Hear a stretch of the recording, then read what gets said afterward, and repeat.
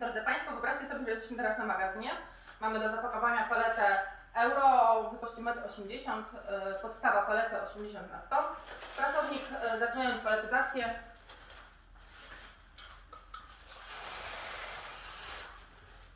foliuje paletę. To jest pierwsza czynność, jaką wykonuje. Zajmuje mu to, oczywiście odbijam całą paletę od góry do dołu, zajmuje mu to około 2 minut. Drugą czynnością, jaką wykonuje, jest to plombowanie palety.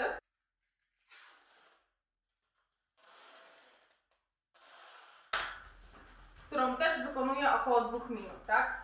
No to jest jedna paleta, zajmuje nam to 4 minuty. A teraz wyobraźcie sobie Państwo, że ma do zapakowania takich palet 20, 40, 100. Ile czasu zajmuje pracownikowi zapak- zapakowanie takiej palety?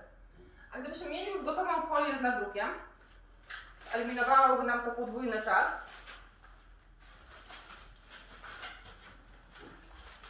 Pracownik wykonuje jedną czynność, skraca czas pakowania palety. Wygląda to również bardzo estetycznie.